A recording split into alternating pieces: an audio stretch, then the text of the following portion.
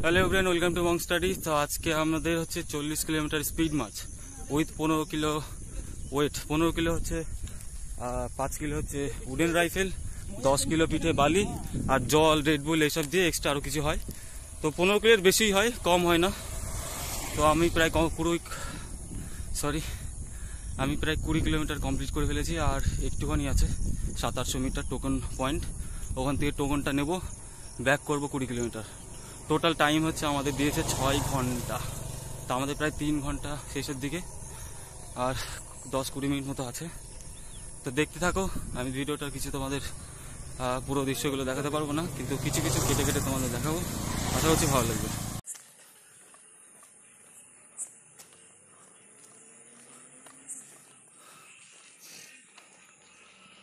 সাবাস কমান্ডার সাবাস আর কত দূর? আর ছশো মিটার। ছশো মিটার। সাবাস সাবাস।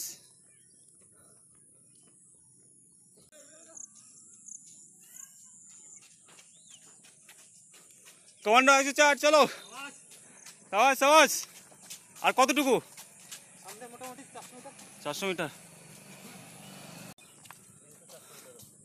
চলো চলো।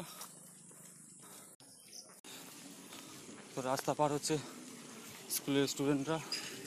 তা আমরা একটু ওয়েট করব।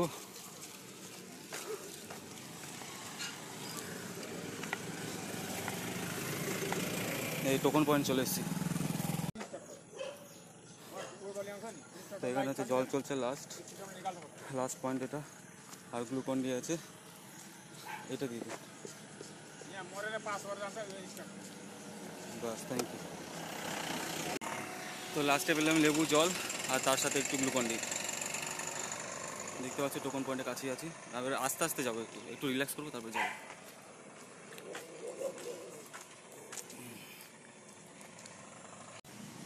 চলো চলো।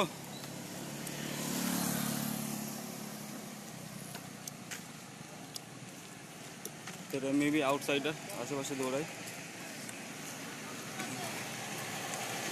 বেশি না বেশি না। আমাদের তো টোকন নেওয়া হয়ে গেছে। আর এরা হচ্ছে টোকন আনতে যাচ্ছে। চলো চলো, সাবাস কমান্ডোস সাবাস সাবাস। চল চল চল। কি? ফোন পেতে দুশো টাকা দেবো? কোন নাম্বারে? ওকে ওকে। তো যেহেতু আমাদের ছয় ঘণ্টা টাইম চল্লিশ কিলোমিটারে তো আমার টার্গেট ছিল প্রথম তিন ঘণ্টার মধ্যে কুড়ি কিলোমিটার কমপ্লিট করব। তো কমপ্লিট হয়ে গেছে টোকন নিয়ে এসেছি আর লেবু জল গ্লুকন্ডিও খেয়ে এসেছি। তো বাকি কুড়ি কিলোমিটার কমপ্লিট করব এবার। চলো চলো সাবাস।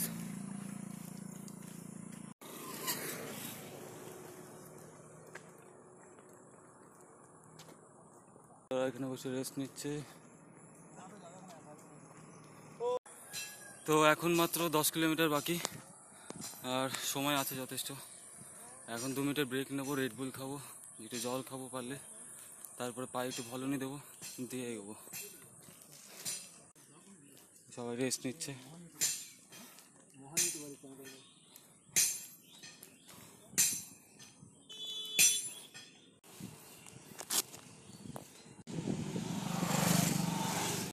তো আমাদের এখনও দশ কিলোমিটার বাকি। আর আমার সাথে আছে অচিন্ত দা। দুজনের অবস্থাই খারাপ। দেখতে পাচ্ছ রেস্ট নিচ্ছি আর এখন ওই রেড বুলটা টাইম একটু রেড বুলটা খাব।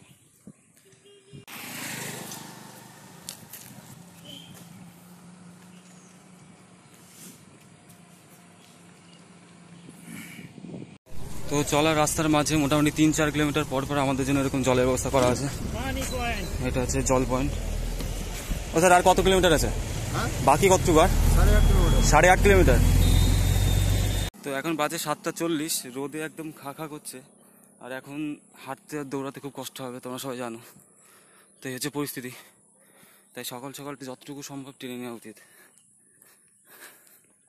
আসলে আমাদের যে টাইমিংটা ছিল মানে শুরু হয়েছে আমাদের ভোর তিনটে থেকে।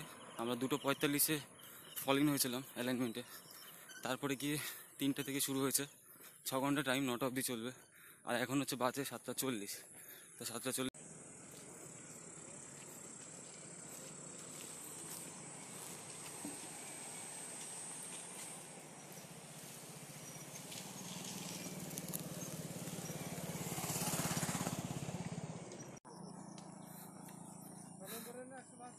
হ্যাঁ স্যার।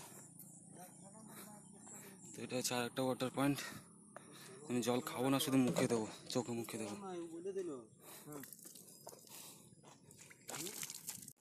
তা আমি এখন হয়ে গেছি জাইরিলা কমান্ডো। অবস্থা খুব খারাপ তাই জাইরিলা হয়ে গেছি। যেমন রোদ তেমন কষ্ট হচ্ছে। লাস্ট পাঁচ কিলোমিটার আছে।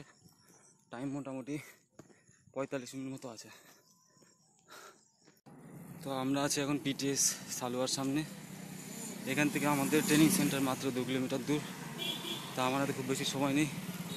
সতেরো আঠেরো মিনিট মতো সময় আছে। অনেক আর্টসের ট্রেনিং হচ্ছে। তো আমি আর আমার বন্ধু আছি মুর্মু ভাই, আর প্রায় একশো মিটার দূরে আছি। তো সাত ঘণ্টা টাইম আমাদের বলেছিল ছ ঘণ্টা এই কারণে মানে কেন বলেছিল, যাতে সবাই পাস করে ট্রেনে টুনে একটু আসে। তো পাস অনেকেই করবে। প্রায় পঞ্চাশ মিটার আছে আর। তো গ্লুকন ডে লেবু জল মেশাচ্ছে। ভর্তি লেবু জল। খাওয়া খাওয়া ফিনিশিং পয়েন্ট এটা আমাদের। আরেকজন আসছে এখান থেকে। তো আমাদের টাইম লেগেছে মানে আমার টাইম লেগেছে পাঁচ ঘণ্টা উনষাট মিনিট সামথিং মানে ছ ঘণ্টার মধ্যে হয়ে গেছে। অনেক কষ্টে পাস করলাম, এখন পা, পায়ের অবস্থা শেষ। Thank you for watching